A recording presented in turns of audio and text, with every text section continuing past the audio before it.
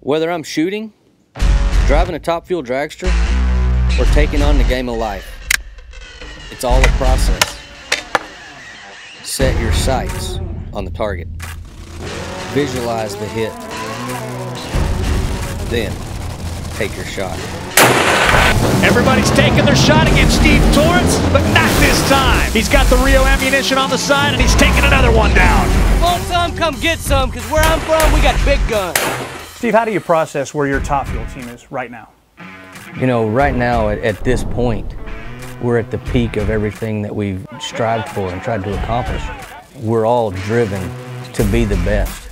We race at a professional level, and we don't want to just be another car that runs. We want to be out there and we want to be the best. We want to win. And, and whoever gets in the way is in the way. We're in a battle.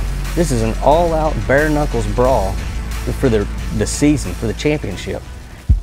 Steve, you've been in a lot of fights in your life. You were racing fast cars, you're growing up as a teenager, but the biggest fight you've had to overcome is cancer. How did you do it? How did you process that?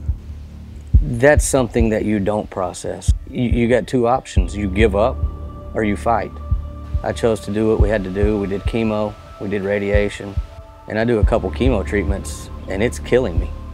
My body is not gonna hold up. I'm not gonna live through the treatment to get rid of the cancer.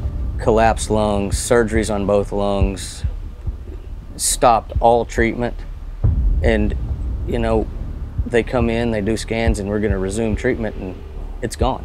At the end of the day, nothing less than a miracle saved my life. The likelihood of Hodgkin's lymphoma coming back is very, very low for me. You've already dealt with a plausible side effect of what happened half your life ago. How many 30 year olds have heart attacks? It was a Wednesday uh, of the Norwalk race, and I'd left the gym and I'd been complaining about my left arm bothering me for weeks. I drove myself to the hospital. Within a matter of minutes, they're telling me that I've had a heart attack. They go in that night, remove a massive blood clot, put in a stent, and said that had I gone home instead of coming straight to the hospital, that I probably wouldn't have woke up. It's not my job to question why, but just move forward every day. Why not drive a top fuel dragster? Why not live my life to the fullest?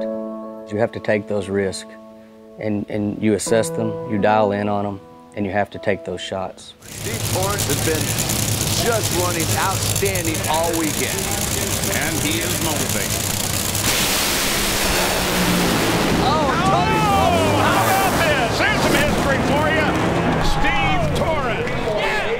That was the first final I'd ever been to in Top Fuel. That was the point that I could look at my mom and dad and all the all the support and the hard work that went into making that happen was was worth it. That one Wally right there is worth three million bucks. You're a tough, gruff guy. Is this the moment that would make you tear up? It is.